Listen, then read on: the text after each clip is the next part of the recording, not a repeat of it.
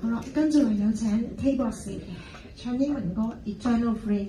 啊，另外有個 dancer 係為佢伴舞嘅，我哋俾啲掌聲。Hello。嗯